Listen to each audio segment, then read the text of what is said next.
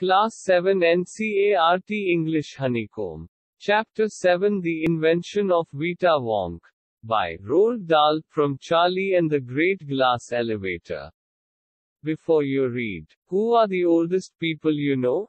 What are the oldest things you have? 1. In your house, 2. In your city, town, or village. How old are they? Have you ever wished that you were older? Have you wished that you could grow up in a hurry? Now, let's start. Mr. Willy Wonka begins by inventing Wonka-Vite, which makes people younger. But Wonka-Vite is too strong. So some people disappear, because their age becomes minus.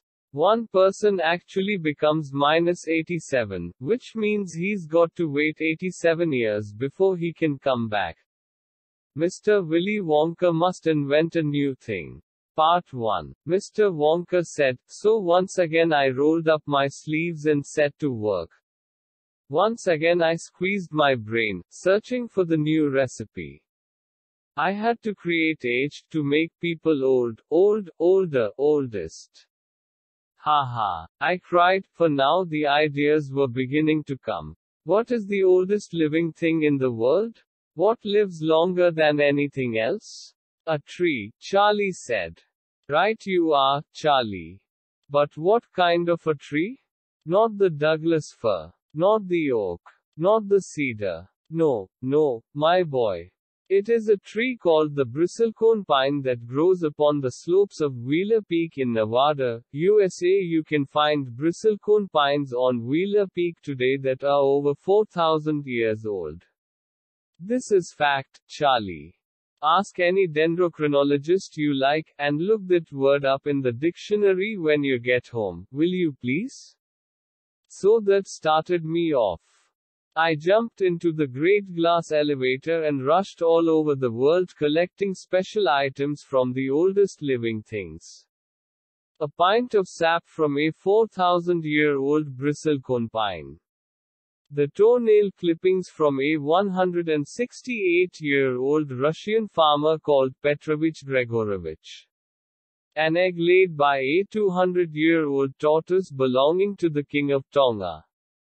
The tail of a 51 year old horse in Arabia.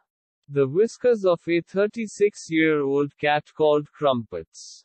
An old flea which had lived on crumpets for 36 years. The tail of a 207 year old giant rat from Tibet. The black teeth of a 97 year old Grimalkin living in a cave on Mount Popocatépetl. The knuckle bones of a 700 year old Catalu from Peru.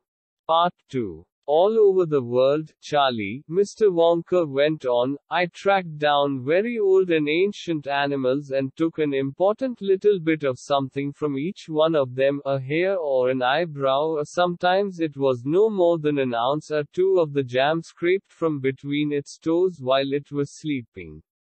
I tracked down the whistle pig, the bobolink, the skrock, the polly frog, the giant curlicue, the stinging slug and the venomous squerkle who can spit poison right into your eye from 50 yards away. But there's no time to tell you about them all now, Charlie.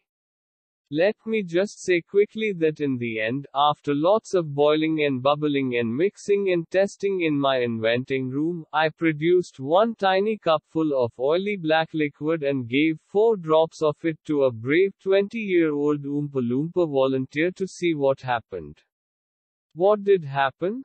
Charlie asked. It was fantastic, cried Mr. Wonka. The moment he swallowed it, he began wrinkling and shriveling up all over, and his hair started dropping off, and his teeth started falling out, and, before I knew it, he had suddenly become an old fellow of 75. And thus, my dear Charlie, was Vita Wonk invented.